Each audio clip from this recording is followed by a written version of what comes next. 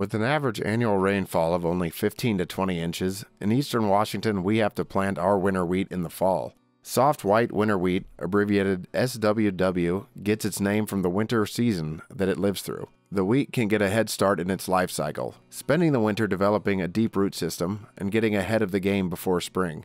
We get most of our moisture in the fall and spring and have very long, dry summers.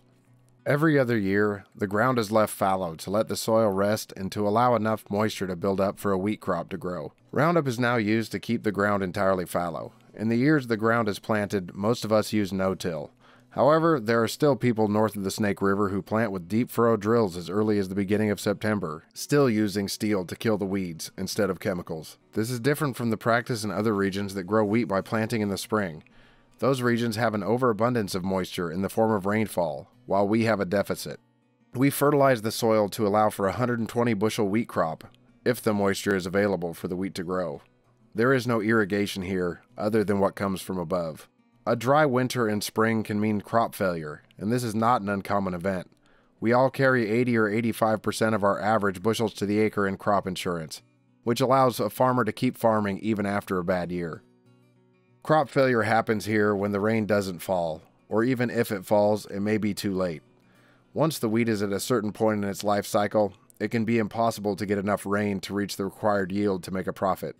For example, this year we had a bumper crop, but many farms failed to make a profit because of the relatively low price of wheat. That means that the farmer himself is making less than his employees, if he has any. The input costs are so high in the form of fertilizer, herbicide, and fungicide that the $5 a bushel price is not enough. Despite all this, it is a hopeful time for us when we have all gotten our wheat into the ground. Freezing temperatures at night will slow the growth even more, but we are still hopeful that all the wheat will come up, and that the price will come up too. I, as a hired hand, now have less to worry about when it comes to the crop, but, and this is a big but, if a farm cannot make money, it cannot pay its employees and it can't get the fertilizer and chemicals needed to make the whole operation work. Banks are hesitant to give out operating loans to farms who won't make money, and so are chemical distributors. No one wants to have their equipment or crop confiscated by the bank and put up for auction to pay the bills, but it does happen. Farming isn't all sliding big equipment around on the hills, but tractor time is over for this year. Please continue to support this channel as it goes forward and consider donating at our Buy Me a Coffee page at buymeacoffee.com slash Trevor Struthers. We aim to educate and inform an ever confused and misinformed public about the realities faced by those of us who are still trying to continue the legacy of our family farms. Big corporations will one day phase us all out with robot tractors and algorithms to tell them when to plant. For now, though, we are still looking for spider webs on the wind in early fall to tell us when to plant. Our grandfathers and their grandfathers before them were farmers, and we will continue to pass down our farming traditions, even as they slowly disappear. Never plant your wheat more than a pointer finger deep, or about 10 times the size of the kernel of wheat, if you want it to come up. It will come up right away if you plant it in moisture, if you can find any, that is. You have a good one.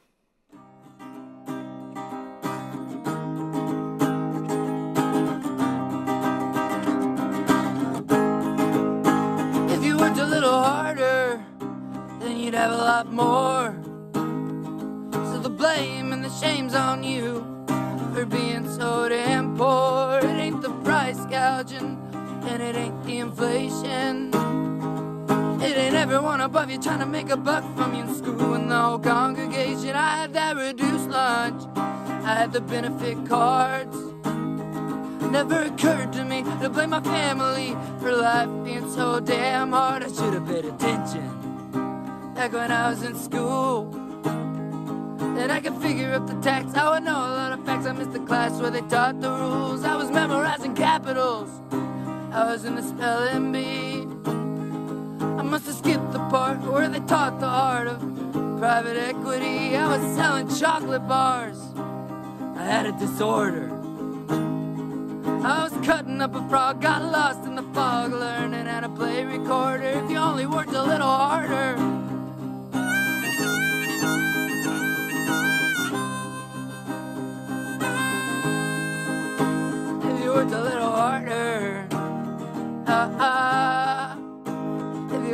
Little harder. Ah, if you worked a little harder, then you'd have a lot more. So the shame and the blame's on you for being so damn poor. It ain't the banks, and it ain't the taxes. It ain't the payday loans and high rent homes and predatory fees and practices. Wave your dumb flag, whatever it means. You should ask yourself when it comes to health of the poor, really all that free if you worked a little harder. Ah, ah, if you worked a little harder. Ah, if you worked a little harder, you'd have a lot more. So the blame and the shame's on you for being so damn.